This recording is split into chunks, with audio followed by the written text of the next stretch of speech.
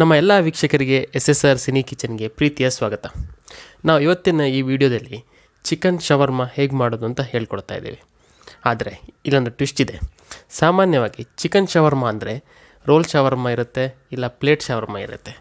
ಆದರೆ ನಾವಿವತ್ತು ಮಾಡ್ತಿರೋದು ಚಿಕನ್ ಪಾಕೆಟ್ ಶವರ್ಮ ಏನಪ್ಪ ಇದು ಪಾಕೆಟ್ ಶವರ್ಮ ಅಂತ ತುಂಬ ತಲೆ ಕೆಡಿಸ್ಕೋಬೇಡಿ. ಅದೇನು ಅಂತ ನೋಡೋಣ ಬನ್ನಿ. ಚಿಕನ್ ಪಾಕೆಟ್ ಶವರ್ಮ ಮಾಡಲಿಕ್ಕೆ ನಾನಿವತ್ತು ನೂರು ಗ್ರಾಮಷ್ಟು ಬೋನ್ಲೆಸ್ ಚಿಕನ್ನ ಚಿಕ್ಕ ಚಿಕ್ಕ ಪೀಸಾಗಿ ಮಾಡ್ಕೊಂಡಿದ್ದೇನೆ. ಇದಕ್ಕೆ ಅರ್ಧ ಟೀ ಸ್ಪೂನಷ್ಟು ಅರಿಶಿಣ, ಒಂದು ಟೀ ಸ್ಪೂನಷ್ಟು ಖಾರದ ಹುಡಿ, ಅರ್ಧ ಟೀ ಸ್ಪೂನಷ್ಟು ಗರಂ ಮಸಾಲೆ, ಅರ್ಧ ಟೀ ಸ್ಪೂನಷ್ಟು ಉಪ್ಪು, ಎರಡು ಟೀ ಸ್ಪೂನಷ್ಟು ತಂದೂರಿ ಹುಡಿ ಮತ್ತು ಅರ್ಧ ಪೀಸ್ ಲೆಮನ್ ಜ್ಯೂಸ್ ಹಾಕಿ ಚೆನ್ನಾಗಿ ಮಿಕ್ಸ್ ಮಾಡಬೇಕು. ನೋಡಿ, ಈ ಥರ ತುಂಬ ಚೆನ್ನಾಗಿ ಮಿಕ್ಸ್ ಮಾಡ್ಕೋಬೇಕು. ನಾವೇನು ಈ ಸ್ಪೈಸಸ್ ಮಸಾಲೆ ಎಲ್ಲ ಹಾಕಿದ್ದೀವಲ್ವ? ಅದು ಚಿಕನ್ಗೆ ಚೆನ್ನಾಗಿ ಹಿಡ್ಕೋಬೇಕು. ಚೆನ್ನಾಗಿ ಚಿಕನ್ ಹಿಡ್, ಹಿಡ್ಕೊಂಡ್ರೆ ನಮಗೆ ಅದು ಟೇಸ್ಟ್ ಕೂಡ ಚೆನ್ನಾಗಿ ಬರುತ್ತೆ. ಇದನ್ನು ನಾವು ಹತ್ತರಿಂದ ಹದಿನೈದು ನಿಮಿಷಗಳ ಕಾಲ ಮ್ಯಾರಿನೇಟ್ಗೆ ಇಡಬೇಕು. ಈ ಕಡೆ ಒಂದು ಪ್ಯಾನ್ಗೆ ಕಾಲು ಕಪ್ಪಷ್ಟು ಎಣ್ಣೆ ಹಾಕಿ, ಎಣ್ಣೆ ಚೆನ್ನಾಗಿ ಕಾದ ನಂತರ ನಾವೇನು ಮ್ಯಾರಿನೇಟ್ ಮಾಡ್ಕೊಂಡಿರ್ತೀವಲ್ವ ಚಿಕನ್ನ ಅದನ್ನು ಹಾಕಿ ಫ್ರೈ ಮಾಡ್ಕೊಳ್ಳೋಣ. ಫ್ಲೇಮನ್ನು ಆದಷ್ಟು ಮೀಡಿಯಮ್ ಫ್ಲೇಮಲ್ಲಿ ಇಟ್ಟು ಫ್ರೈ ಮಾಡ್ಕೋಬೇಕು. ಆವಾಗ ಚಿಕನ್ ಎಲ್ಲ ಕಡೆ ನೀಟಾಗಿ ಫ್ರೈ ಆಗುತ್ತೆ. ಚಿಕನ್ನ ಉಲ್ಟಾ ಹಾಕಿ ಹತ್ತು ನಿಮಿಷಗಳಷ್ಟು ಫ್ರೈ ಮಾಡ್ಕೊಳ್ಳಿ. ನಾನಿಲ್ಲಿ ಟೆಂಡರ್ ಚಿಕನ್ನ ಯೂಸ್ ಮಾಡ್ತಾ ಇದ್ದೀನಿ. ಸೊ ಹತ್ತು ನಿಮಿಷ ಫ್ರೈ ಮಾಡಿದರೆ ಸಾಕಾಗುತ್ತೆ. ನೋಡಿ, ಚಿಕನ್ ಇವಾಗ ಚೆನ್ನಾಗಿ ಬ್ಯೂಟಿಫುಲ್ ಆಗಿ ಫ್ರೈ ಆಗಿದೆ. ಇದನ್ನು ನಾವು ಒಂದು ದೊಡ್ಡ ಪಾತ್ರೆಗೆ ಟ್ರಾನ್ಸ್ಫರ್ ಮಾಡ್ಕೊಳ್ಳೋಣ. ನೋಡಿ, ಈ ಥರ ಬೌಲ್ಗೆ ನಾವು ಚಿಕನ್ನ ಟ್ರಾನ್ಸ್ಫರ್ ಮಾಡ್ಕೊಂಡಿದ್ದೇವಲ್ವಾ? ಇದರ ಮಧ್ಯಕ್ಕೆ ಇನ್ನೊಂದು ಚಿಕ್ಕ ಬೌಲಲ್ಲಿ ಇದ್ದಿಲು, ಕಾದ ಇದ್ದಿಲನ್ನು ಇಟ್ಟು ಅದಕ್ಕೊಂದು ಎರಡು ಡ್ರಾಪ್ಸ್ ತುಪ್ಪ ಅಥವಾ ಬಟರ್ ಅನ್ನು ಹಾಕಿ ಮುಚ್ಕೋಬೇಕು. ಇದನ್ನು ನಾವೀಗ ಹತ್ತು ನಿಮಿಷಗಳ ಕಾಲ ಹಾಗೆ ಬಿಡಬೇಕು. ನಮ್ಮ ಹತ್ರ ಈಗ ಹತ್ತು ನಿಮಿಷ ಟೈಮ್ ಇದೆ. ಸೊ ಕೆ ಎಫ್ ಐ ಸುತ್ತ ಒಂದು ರೌಂಡ್ ಹಾಕ್ಕೊಂಡು ಬರೋಣ, ಬನ್ನಿ. ಕಾಂತಾರ ಸಿನಿಮಾ ದಿನದಿಂದ ದಿನಕ್ಕೆ ಕಾಡ್ಗಿಚ್ಚಿನಂತೆ ದೇಶ ತುಂಬ ಹರಡ್ತಾನೆ ಇದೆ. ಸೆಪ್ಟೆಂಬರ್ ಮೂವತ್ತರಂದು ಕನ್ನಡ ಭಾಷೆಯಲ್ಲಿ ಮಾತ್ರ ರಿಲೀಸ್ ಆದ ಈ ಸಿನಿಮಾ ಬೇರೆ ಭಾಷಿಕರ ಒತ್ತಾಯದ ಮೇರೆಗೆ ಈಗ ಹಿಂದಿ, ತಮಿಳು, ತೆಲುಗು, ಮಲಯಾಳಂ ಭಾಷೆಗಳಲ್ಲೂ ಬಿಡುಗಡೆಯಾಗಿ ಎಲ್ಲ ಕಡೆ ಜೋರಾಗಿ ಸೌಂಡ್ ಮಾಡ್ತಾ ಇದೆ. ಸಿನಿಮಾ ನೋಡೋ ಪ್ರೇಕ್ಷಕರಿಂದಲೇ ಪ್ಯಾನ್ ಇಂಡಿಯಾ ಆದ ಮೊದಲ ಸಿನಿಮಾ ಕಾಂತಾರ ಅಂತ ಹೇಳಿದರೆ ಅದು ತಪ್ಪಾಗೋದಿಲ್ಲ. ಕರ್ನಾಟಕದಲ್ಲಿ ಮುಂಗಾರು ಮಳೆ ಚಿತ್ರದ ನಂತರ ಇಷ್ಟೊಂದು ದೊಡ್ಡ ಮಟ್ಟದಲ್ಲಿ ಥಿಯೇಟ್ರಿಕಲ್ ಫುಟ್ಫಾಲ್ ಆಗ್ತಾ ಇರೋದು ಕಾಂತಾರ ಸಿನಿಮಾಗೆ. ಯಾರೇ ಸಿಕ್ಕಿದ್ರು ಮಾತಿನ ನಡುವೆ ಕಾಂತಾರ ಸಿನಿಮಾ ನೋಡಿದ್ರ ಅಂತ ಕೇಳೋದು ಸರ್ವೇಸಾಮಾನ್ಯ ಆಗಿಬಿಟ್ಟಿದೆ. ಚಿತ್ರತಂಡ ಮಾಡಿದ ಪಬ್ಲಿಸಿಟಿಗಿಂತ ಜನರ ವರ್ಡ್ ಆಫ್ ಮೌತೆ ದೊಡ್ಡ ಮಟ್ಟದಲ್ಲಿ ಸಿನಿಮಾನ ಗೆಲ್ಲಿಸ್ತಾ ಇದೆ. ಒಂದು ಸಲ ಸಿನಿಮಾನ ನೋಡಿದವರು ತಮ್ಮ ಫ್ಯಾಮಿಲಿ ಎಲ್ಲರನ್ನೂ ಕರ್ಕೊಂಡು ಸಿನಿಮಾನ ತೋರಿಸ್ತಾ ಇದ್ದಾರೆ. ಇನ್ನು ಬಾಕ್ಸ್ ಆಫೀಸ್ ವಿಷಯಕ್ಕೆ ಬರೋದಾದರೆ ಕಾಂತಾರ ಸಿನಿಮಾ ಹದಿನಾರನೇ ದಿನಕ್ಕೆ ವರ್ಲ್ಡ್ ವೈಡ್ ನೂರು ಕೋಟಿ ಕ್ಲಬ್ ಸೇರಿದೆ.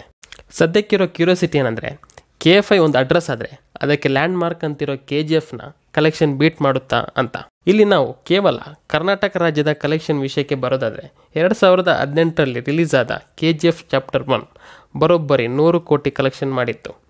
ಇದೇ ವರ್ಷ ಮಾರ್ಚ್ನಲ್ಲಿ ಬಂದ ಜೇಮ್ಸ್ ಸಿನಿಮಾ ನೂರು ಐವತ್ತರಿಂದ ನೂರ ಅರವತ್ತು ಕೋಟಿ ಮತ್ತು ಏಪ್ರಿಲಲ್ಲಿ ಬಂದ K G F chapter two ನೂರ ಎಪ್ಪತ್ತೈದರಿಂದ ನೂರ ಎಂಬತ್ತೈದು ಕೋಟಿ ಕೇವಲ ಕರ್ನಾಟಕ ರಾಜ್ಯದಲ್ಲೇ ಗಳಿಸಿತ್ತು.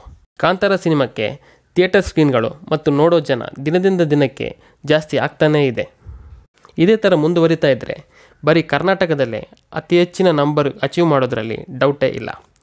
ಅದೇನೇ ಇರಲಿ, ಒಂದು ಸಿನಿಮಾ ಹಳೆಯ ಸಿನಿಮಾದ ಎಲ್ಲ ರೆಕಾರ್ಡ್ಗಳನ್ನು ಬ್ರೇಕ್ ಮಾಡ್ತಾ ಹೋದರೆ ಅಲ್ಲಿ ಗೆಲ್ಲೋದು ಕನ್ನಡ ಚಿತ್ರರಂಗನೇ ಅಲ್ವಾ? ಇರಲಿ, ನಮ್ಮ ಚಿಕನ್ ಇಲ್ಲಿ ಹತ್ತು ನಿಮಿಷಗಳ ಕಾಲ ಕ ಕಲ್ಲಿದ್ದಿಲಿನ ಜೊತೆ ಚೆನ್ನಾಗಿ ಟೈಮ್ ಸ್ಪೆಂಡ್ ಮಾಡಿದೆ. ಇವಾಗ ಮುಚ್ಚಳ ತೆಗೆದು ಇದಕ್ಕೆ ಒಂದೂವರೆ ಟೇಬಲ್ ಸ್ಪೂನಷ್ಟು ಪೆರಿ ಪೆರಿ ಮಸಾಲ, ಒಂದು ಚಿಕ್ಕ ಕಪ್ಪಷ್ಟು ಮೈನಸ್ ಹಾಕಿ ಚೆನ್ನಾಗಿ ಮಿಕ್ಸ್ ಮಾಡ್ಕೊಳ್ಳೋಣ. ನಾವು ಆವಾಗ ಚಾರ್ಕೋಲ್ನ ಚಿಕನ್ ಜೊತೆ ಇಟ್ಟಿದ್ದ ರೀಸನ್ ಏನಂದರೆ, ತಿನ್ನೋವಾಗ ಅದೊಂದು ತಂದೂರಿ ಫ್ಲೇವರ್ ಕೊಡುತ್ತೆ ನಿಮಗೆ.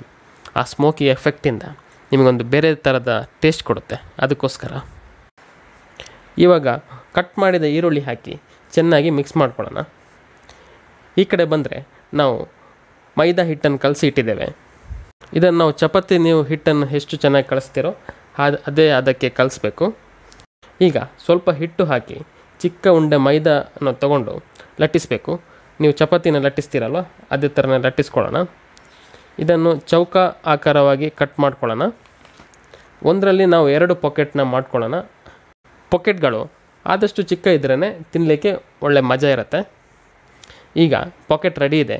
ಇದಕ್ಕೆ ನಾವು ಚಿಕನ್ನ ಮಿಶ್ರಣ ಹಾಕಿ ಮೂರು ಕಡೆಯಿಂದ ಒತ್ತಬೇಕು ನೋಡಿ, ಆವಾಗ ಚೆನ್ನಾಗಿ ಅಂಟ್ಕೊಳ್ಳುತ್ತೆ. ಈಗ ನಮ್ಮ ಚಿಕನ್ ಪಾಕೆಟ್ ರೆಡಿ ಇದೆ.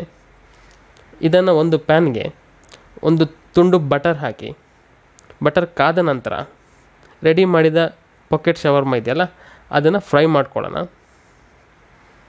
ಇದನ್ನು ಎರಡೂ ಕಡೆಯಿಂದನೂ ಫ್ರೈ ಮಾಡ್ಕೋಬೇಕು ಚೆನ್ನಾಗಿ. ಅಗೇನ್ ಮೀಡಿಯಮ್ ಫ್ಲೇಮಲ್ಲಿ ಇಟ್ಕೊಂಡು ಫ್ರೈ ಮಾಡ್ಕೊಳ್ಳೋಣ. ನೋಡಿ, ಈ ಥರ ಚೆನ್ನಾಗಿ ಗೋಲ್ಡನ್ ಬ್ರೌನ್ ಕಲರ್ ಬರಬೇಕು. ನೋಡಿ ಚಿಕನ್ ಪಾಕೆಟ್ ಶವರ್ಮ ಸೂಪರಾಗಿ ರೆಡಿಯಾಗಿದೆ. ಇದನ್ನು ಮಯೋನೆಸ್ ಜೊತೆ ತಿಂತಾ ಇದ್ದರೆ ತಿಂತಾನೆ ಇರ್ತೀರಾ? ಮಕ್ಕಳಂತೂ ಕೌಂಟ್ಲೆಸ್ ಆಗಿ ತಿಂತಾನೆ ಇರ್ತಾರೆ. ನಮ್ಮ ಇವತ್ತಿನ ಈ ವಿಡಿಯೋ ನಿಮಗೆ ಇಷ್ಟ ಆಗಿದ್ದರೆ ಲೈಕ್ ಮಾಡಿ, ಶೇರ್ ಮಾಡಿ. ಈ ವಿಡಿಯೋದಲ್ಲಿ ಏನು ಇಷ್ಟ ಆಯಿತು, ಏನು ಇಷ್ಟ ಆಗಿಲ್ಲ ಅಂತ ಕಮೆಂಟ್ ಮೂಲಕ ತಿಳಿಸಿ. ಇನ್ನಷ್ಟು ಹೊಸ ರೆಸಿಪಿ, ಸಿನಿಮಾ ವಿಷಯಗಳೊಂದಿಗೆ ನಿಮ್ಮ ಮುಂದೆ ಸಿಗ್ತೀನಿ. ಅಲ್ಲಿ ತನಕ ಸಿ ಯು ಸೂನ್